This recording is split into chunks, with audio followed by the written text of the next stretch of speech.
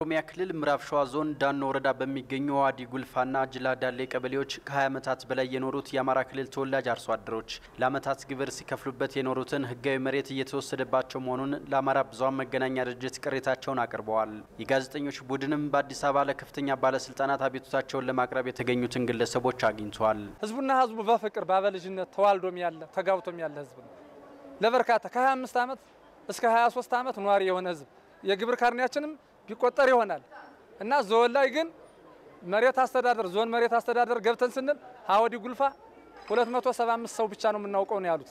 ስለዚህ የሚገበረው ገንዘብ የት እንደሚገባ መንግስት እንኳን ይህን ጠንቅቆ ይሄ መሬት የኔ ሆኖ እያለ በካርታው ላይ ያለው አታክልትም ያለው ቤትም በዚያ ላይ እያለ ዛሬ ግን መጥተው ከወረዳና ከአውራጃ እየመጡ ሄች ወዲያ ያንተ የሚባል ስራ እየተሰራ ያለ። ከህዝብ ጋር በፍቅር ነው ያለ ነው።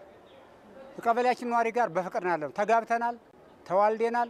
አሁንም ይህን ነገር ይህን ያህል ዓመት የኖሩ ሰዎች መልቀቅ የለባቸውም ብለው የኦሮሞ ጓደኞቻችን ቆመው በስብሰባም እየተናገሩ ነው።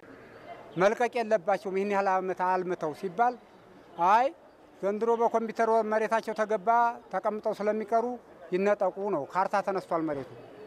አሁን አዋሳኛችን የመሬቱ አዋሳኝ የአንዱ ሰው መሬት ይሄ ነው። ይሄ ደግሞ የአማራ ከሆነ ደብተር አለኝና እስከዚህ ድረስ የአምስቱን ሰው መሬት በአንድ ኦሮሞ ደብተር ላይ እየተሞላ ነው። በአዋሳኝ የአማራ ወደ የት ሄድ እስከ ቤቱ ዙሪያ ተሰጥቶበታል። በአዋሳኝ ይሄ ስለተሞላ አሁን መሄጃህን ነገር አናቅም ነው። እንዴት እንሁን ስንል አይ አንተ ደብተር የለህም ነው። ደብተሩ ደግሞ ሰጥተውን ነበረ ጀምረውታል። ለእነሱ ሰጡ፣ ለእኛም ተጀምሯል። የአስር ሰው የሀያ ሰው ማስረጃ አለን። ደብተር ቢኖርህም አማራ ስለሆንክ ለአንተ ላይ መሬት አይሞላልህም ነው። ምሬት ላይ ነው ያለ ነው፣ ስቃይ ላይ ያለ ነው። አስራ አምስት ቤተሰብ ሀያ ቤተሰብ ይኖራል። የልጅ ልጅም አለን። የልጅ ልጅም ባየንበት ሰዓት አሁን የመጣው አባዜ ከዚህ የላችሁም ነው። ምክንያቱም ይሄ ወረዳ አስተዳዳሪውና የፖሊስ አባሉ ነው ይህን የሚያደርገው።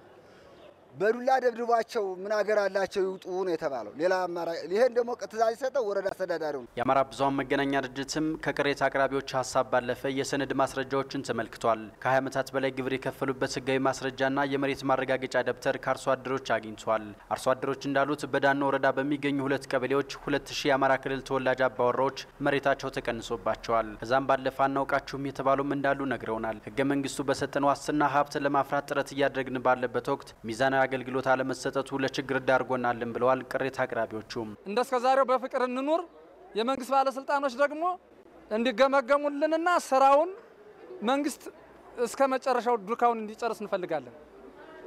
ደግሞም ማይሆን ከሆነ በፍርድ መንግስት እንዲያስለቅቀን ፍርድ አግኝተን ወደምንሄድበት አገር ካለን መንግስት እንዲቀበለን እንላለን። እኛ አሁን የምንፈልገው እንደ ሀገሪቱ መሬት ጥበት ካለ በዞናችን በወረዳችን ላይ አማራ፣ ኦሮሞ ሳንባባል አንድ ሄክታር የሚደርሰን አንድ ሄክታር የሚደርሰን በብሔር ተለይነት ግን የእኛ ብቻ መነጠቅ አይቻልም ነው ህጉ የሚያስተካክለው ከሆነ ከቀበሌያችን ውስጥ ደግሞ ከወረዳችን ውስጥ 27 ቀበሌ ነው። 27 ቀበሌ ይሄ በደል የደረሰበት ሁለት ቀበሌ ነው። አጅላ ዳሌና አዋዲ ጉልፋ ለሁለት ቀበሌ ብቻ ምን መመሪያ ወረደ ነው? ይቺ ሀገር የጋራ ከሆነች በጋራ መኖር ነው ያለብን። በጋራ ማንኖር ከሆነ ደግሞ መስፈሪያ ሀገር ይሰጠንና የምናነሳበት ዛሬ ማዳበሪያ ቀርቧል። አስር ኩንታል ሀያ ኩንታል የያዘ ገበሬ አለ። ምርት ተሰጥ ቦታ ነው።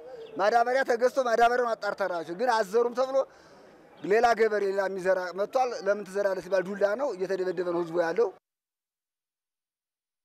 በዚህ ጉዳይ ላይ የኦሮሚያ